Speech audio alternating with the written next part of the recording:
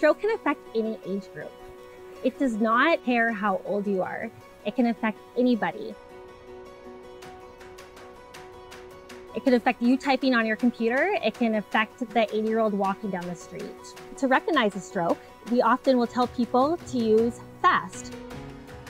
Face, you smile is the face symmetrical. Arms, lift up the arms is one drifting. S, slurred, is the speech slurred or garbled. T, time, time is brain. Two million neurons are lost per minute when you have a stroke. So it's important to act quick as a leading treatment for stroke, TPA, it can only be given within a tight window, so 4.5 hours from onset of symptoms.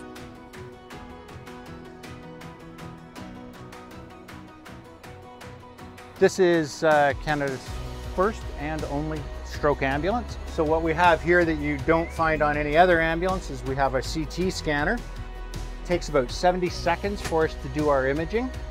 The images go from this scanner they go over to this laptop.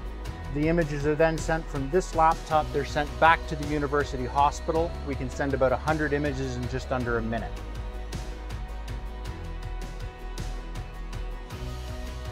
And this system is good that we can be 250 kilometers away from the hospital and it still functions and everything's done in real time.